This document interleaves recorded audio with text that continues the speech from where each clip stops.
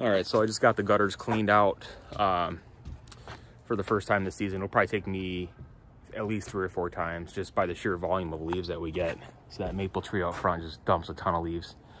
So um, I've had this Werner ladder here. I wanted to, to kind of show you the comparison here. I've had this one for quite a while.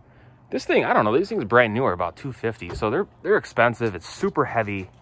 Um, not the easiest to carry got some weight to it. However, that's a good thing because look how stable this thing is. I mean, this thing is just, I have no concerns climbing this ladder and going all the way up, right? I mean, it's just, it doesn't move.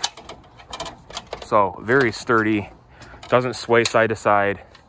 Um, now, what's crazy about these, of course, they both flip up and this can be used as an A-frame ladder. I think it goes up to six feet eight or something like that. Uh, let's see. I don't know, 300 pound capacity. Good thing I'm not 300 pounds.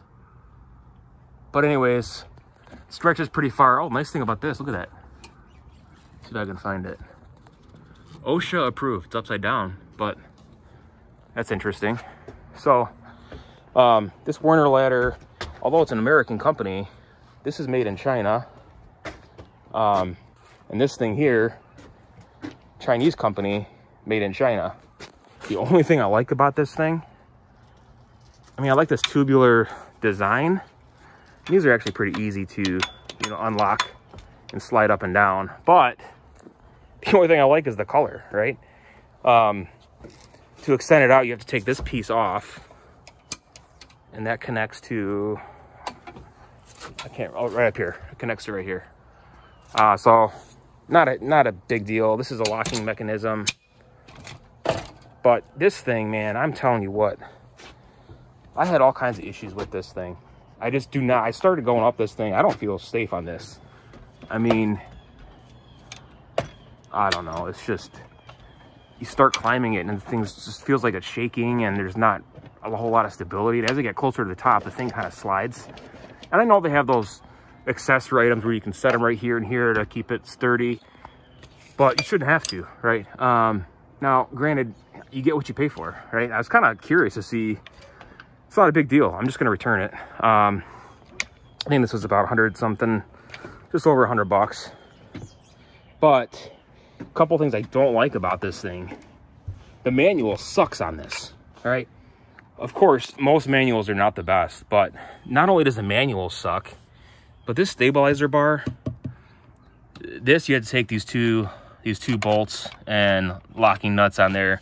Take a rubber mallet and hammer this thing in. There's little slots here, grooves, where you hammer this thing up. Um, but you have to take these rubber ends off. And all the videos show that this thing just slides right off. Well, not the case. I had to take a rubber mallet and hammer it off really hard to get that off so I would be able to get these pieces on. Now there are like locking wheels on this or you know, rolling wheels, I should say, that just kind of stay here. So if you want to wheel it, you can. But look at, it doesn't say anything about these orange stabilizer pieces right here. It shows your parts list. I mean, the stabilizer bar is B, but do you see anything, any other parts that it shows? No. Anti-pressure bar, which is this and two bolts, two lock nuts, the support bar. It doesn't show anything about putting these on or the wheels. So, I mean, of course that's garbage, but I mean, what do you expect? I'm not expecting a whole lot, but another thing, here's poor quality right here. Look at this. This rivet just broke right off of here. I mean, this thing just came, I had just taken this off. Actually, is there two broken? No, just one. So, I mean, how, how comfortable and sturdy do you think this is really going to be? You know what I'm saying? Like, look at this thing.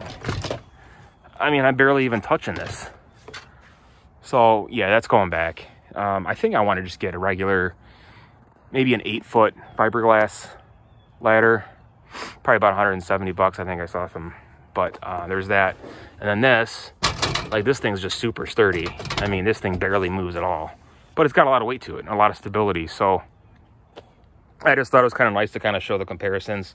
As far as the size difference, I mean, they're pretty much 20, almost 28 inches across from here all the way.